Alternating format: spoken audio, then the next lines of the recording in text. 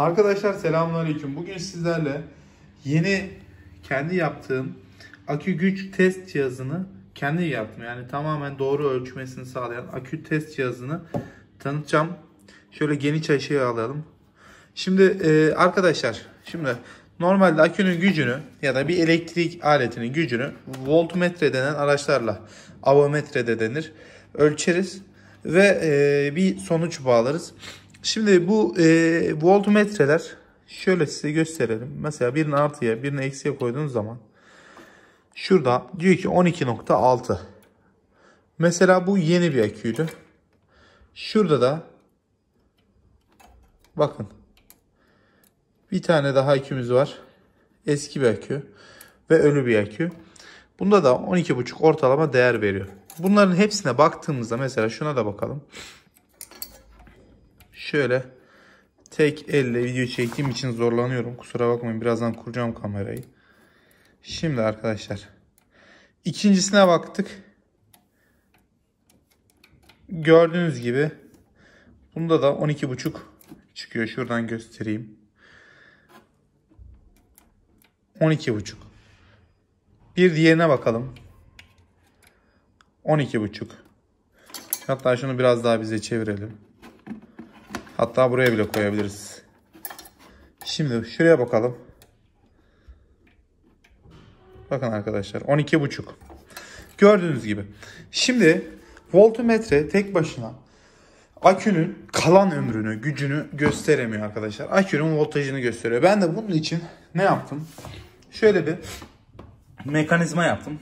Ee, bir nevi bir direnç arkadaşlar. Şurada bakın iki tane çıktısı var. Şuraya bağlı olarak. Hatta bunu yakın çekimde yapalım. Şimdi arkadaşlar gördüğünüz gibi iki kablo çıktı. Burada bunun kablonun e, tek tel, tek damar bakır kablo. Kablonun uçlarına da etrafına da e, elektrik çarpmasın diye e, kablo bandı çektim. Bu da bir tahta arkadaşlar. Tahtada 8 tane video dörderli olarak karşılıklı olarak taktım. Yapımını size kolayca anlatayım. E, yapmak isteyen arkadaşlar varsa yapsın diye. Şimdi arkadaşlar bu teller ne kadar fazla olursa e, aküyü o kadar doğru ölçer. Ama çok fazla olursa da aküyü öldürür şu aradaki direnç. Yani bunlar elektriği bir yükle tek değdirmeyle çekecek. Mantık bu. Eğer ki fazla olursa aküyü öldürme şansı var. Çünkü dokundurduğum anda bura ısınıyor arkadaşlar. Direkt UFO gibi yanıyor. Dokundurduğum anda yanmaya başlıyor. ısınıyor. Ve e, ne kadar uzun süre durursa akü o kadar şey yük olduğu için zarar veriyor. Şimdi arkadaşlar bunu şöyle yapıyorum ben. Şu avometrenin bir kablosunu şuraya takıyorum. Bunlar da buradan bakın. Bakır kabloyu çıkarttım. Büktüm uçlarını. Şu şekilde kendi evde imkanlarında yaptığım yani 5 lira 180 liralık bir cihaz bunun e, internette satıldığı zaman 180 liradan aşağıda bulamıyorsunuz. Akü güç kontrol cihazını. Ama ben bunu arkadaşlar e, tellerin 20 liraya aldım. İnternette 10 liraya da vardı. Beklemek istemedim. 20 liraya aldım. 3'te birini bile kullanmadım. Bir rezidans teli aldım arkadaşlar. 5 liralık da kablo aldım. 2, 2 metre ama neredeyse 1 metresi bile yetti de ben fazladan kullandım arkadaşlar. Yani 2 metrede kablo aldım. Vidalar zaten masraf değil arkadaşlar. 8 tane vidayı gömdüm buraya. Bu e, rezidans tellerinin iki vida arasını tek tek tek tek bağladım ve bakır kabloyu hem vidaya hem rezidans teli değecek şekilde sara sara sara sara bakın şöyle bunu buna buna buna taşıdım. Aynı şekilde buradan da taşıdım. Yani birinde artı kutup olacak, birinde eksi kutup olacak. Hangisi sağ sol, hangisi olduğu önemli değil arkadaşlar. Ee, ardından e, akü test cihazımız kontrole hazır oldu. Bir ucu voltmetreye bağlı burada. Bir ucu da burada akülere değdireceğimiz kısım. Lakin arkadaşlar dediğim gibi e, birkaç saniyeden fazla tutarsanız e, akülere zarar verecek. Şimdi gördüğünüz gibi daha yeni bütün değerler 12.5 çıkıyordu. Eğer ki arkadaşlar şöyle yapalım. Bir açı ayarlayalım. Hı. Eğer ki arkadaşlar e, değer şöyle nereye koyalım? Şurayı. Şunu da ayaklarını kısayım. Kusura bakmayın. Kısa bekleteceğim. Arkadaşlar kusura bakmayın videoyu kesmek zorunda kaldım ayarlamalar için. Şimdi arkadaşlar tam şimdi e, ölçüme başlayacağız. Şöyle net bir şekilde aldık. Şimdi artı ya da eksi kutbu fark etmez. Zaten artı artıya eksi eksiye koyduysam burada e, artı değer çıkar. Eğer ki eksiye artıya artıya eksiye koyduysam da burada arkadaşlar şey çıkar. E, eksi olarak çıkar ama aynı değeri verir. Dediğim gibi buna bastığım zaman arkadaşlar şu tahta direkt ısınacak. Dumanlar çıkacak. Uzun süre tutarsam da bunlar kız, kızaracak. Ee, o yüzden uzun süre tutmayacağım. O kısmında size çekmeme gerek yok. Anlattığımdan farklı bir şey olmayacak yani. Arkadaşlar tahta görünecek şekilde şimdi bakın artıya birini koydum. Eksiye koyduğum anda değer çıkacak. Bir saniye görünen bir yere koyayım. Tamam görünüyor. Artıya koydum.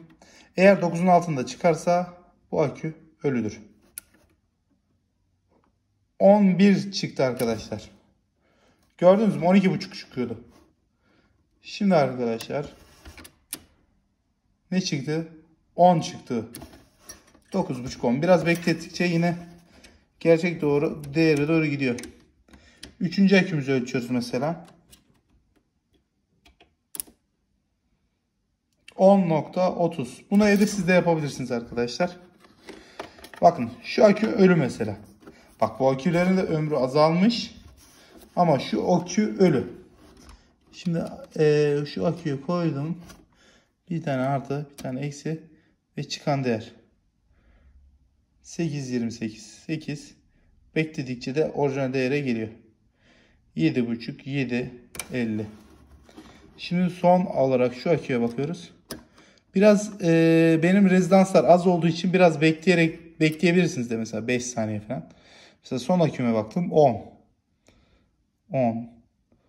Tamam 10-25'in altına düşmüyor arkadaşlar. Hatta benim rezidansımda tam noktayı bulabilmek için şöyle biraz bekliyoruz. Bakın 7.5. Tam saymayı geri saymayı bırak bitirdiği an oradadır. Heh. 7.20 arkadaşlar. Bunun değeri bu akü bitik. Şimdi şu yeni aldığım aküyü tekrar bir süre bekletmek istiyorum. Bu ama doldurma akü arkadaşlar. Sıfır akü değil. 10.90 altına iniyor arkadaşlar. Şarjı tam bitiremedim. Tam doğru ölçüm yapabilmek için de arkadaşlar şarjı tam bitirmeniz gerekiyor. Bilginiz olsun. Şuradan artık bağlantıları şöyle kesiyorum. Bu baya bak şu an o kadar sıcak ki. Şimdi bu UFO, rezidans UFO gibi ısıttım ben burayı. Şimdi doğru ölçüm yapabilmek için arkadaşlar son püf noktaları söyleyeyim. Hepimizin araba aküsü de ölçebilirsiniz bunlar. Sadece motor aküsü değil. Ee, doğru ölçüm için arkadaşlar araba aküsü ölçebilmek için arkadaşlar ne yapıyoruz? Ee, aynı şekilde uygulamayı yapıyoruz. Onun da mesela diyelim ki değeri onun altında olmaması lazım arkadaşlar. Bu cihazda. Ee, heh, doğru ölçüm için arkadaşlar her zaman elektrikli motor aküsünde şarjının bitik olması lazım. Yani aküler motorunuzla mesela şarjınızı bitirin. Son böyle yavaşlıyor artık son enerjisini atıyor. O zaman gelin ölçüm. Full şarjda net bir ölçüm çıkartamazsınız. Net ölçümü e, şarjı bitik ve bu cihazla. Bu avometre ile tek başına doğru ölçüm çıkmaz. Arkadaşlar anlatacaklarım bu cihazla ilgili buraya kadardı. Ee, sormak istediğiniz sorular falan olursa yorumlar kısmından bildirebilirsiniz. Şimdi ben motorun aküsünü iyice bitirdim. Son kez şarj edeceğim. Buraya ulaşmak da, akülere ulaşmak da çok basit. Şu kutuları çıkartıyorsunuz, şu koltuk kısmı. Bir vidalık işler. Şurada iki tane vida var. İki tane de şurada vida var. Bir de şunu bağlıyorsunuz. Bu kadar. Az çok bütün motorlar da aynıdır arkadaşlar aynı şeyler sizin başınıza gelmesin diye. Ben bu aküyü mesela sıfır diye aldım. Adam bana doldurma aküyü sıfır diye sattı mesela. Aynı şeyler başınıza gelmesin diye siz de aynısını yapmanızı öneriyorum. Umarım videoyu beğenmişsinizdir. Kanalıma abone olmayı unutmayın. Hoşçakalın. Kendinize iyi bakın. We'll be